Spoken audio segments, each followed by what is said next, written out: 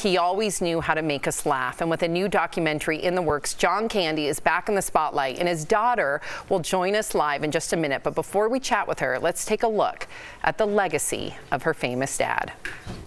Oh, that feels good. Oh, God, I'm telling you. My dogs are barking today. Oh. When you hear the name John Candy, what words come to mind? Everyone knows he was funny.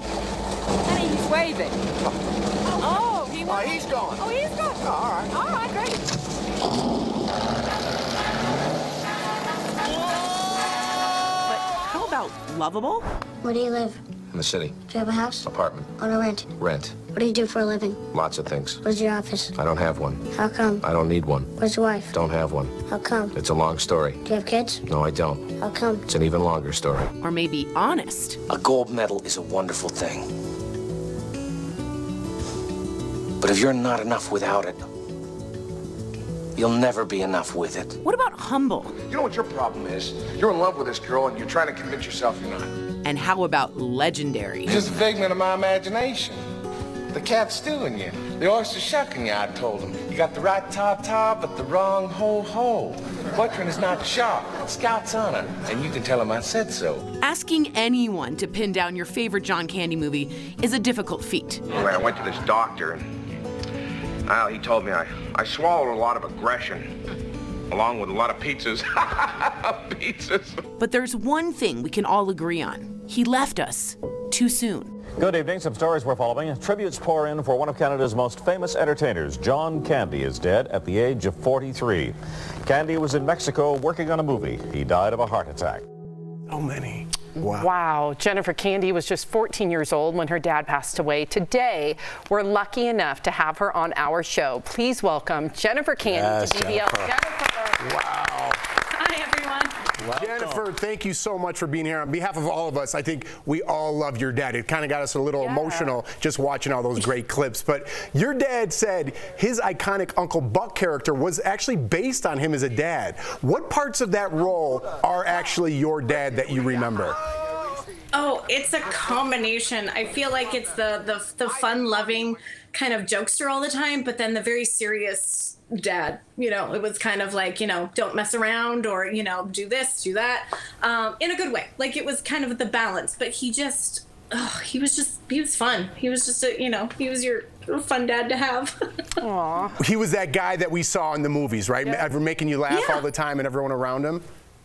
Yeah, he was always making laugh. Um, but then just always just you know calm and and mellow and you know just having just living his best life and kind of being very family oriented and making sure that we're all kind of like stay grounded and that we're just you know doing family things you know when he's home because he always had to go away for work and then he always you know brought us along with him and then vice of, you know when he was home he was home and he was present which was always you know that was i think a father's day or we were trains planes and automobiles with the mustache and the perm and Oh, we wow. always went on family vacations it was fun That's amazing. Jennifer, you've been so transparent about uh, the life and death of your father, which, I mean, is such a gift to us um, as fans. So, what do you remember about the day that your father passed?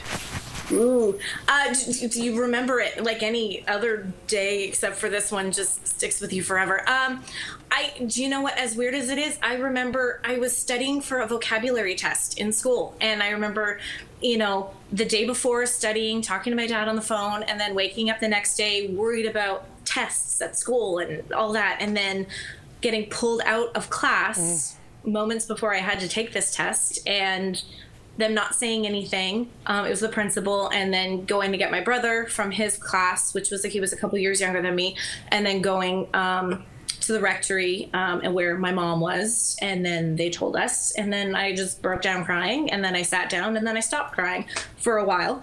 Um, because I just couldn't process all of it, and it was just a very weird, mind-numbing day. Yeah. That's a yeah. That's a perfect way to put it. My well, the day my father passed away, I kind of knew, so I had to tell people. And it's weird. You kind of snap into this other mode where you're just like making calls and being efficient because you don't even allow yourself the time to process because there's so many things going on. So it takes a while.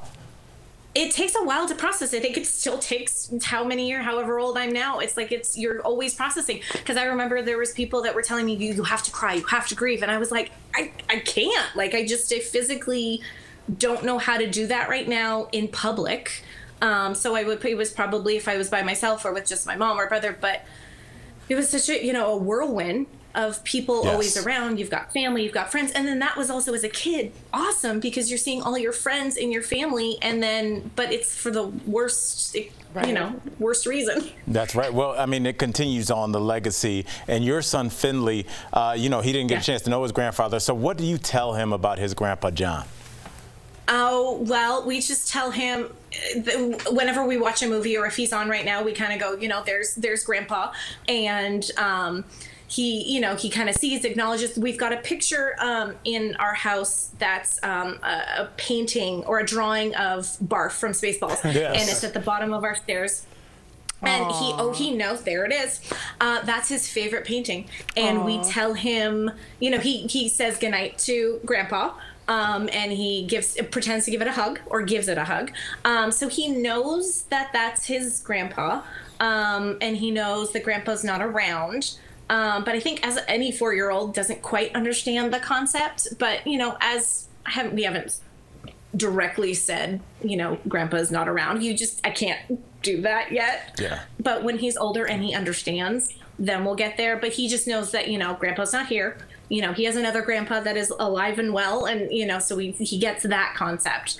Um, so he, he sometimes goes, he goes, Grandpa, go bye bye. I said, Yes, Grandpa, Grandpa, go bye bye. But you know that this is your grandpa. And he, you know, he at school, he had a Dia de los Muertos and he brought in that picture. Oh, he was my showing it to all his kids at school. So it was cute. I love that. And in, in October, keeping the legacy alive, Ryan Reynolds revealed that he and Colin Hanks are working on a documentary about your dad. You and your brother have been going through old footage and photos of your dad for it. Was there one memory that you loved reliving when you saw it? And we only have about 30 seconds left. Yeah, well, uh, it's, it was amazing. Uh, Do you know what we saw?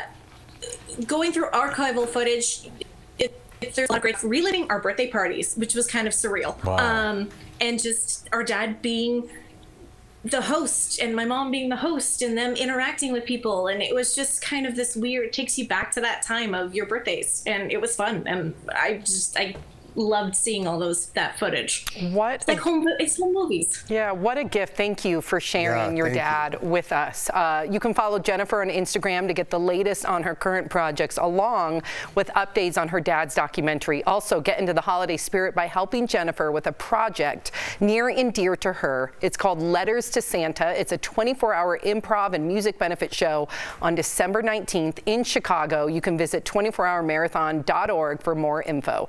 Jennifer, thank you. Thank we'll be you right so back. Thank Thanks, you. Jennifer. thanks guys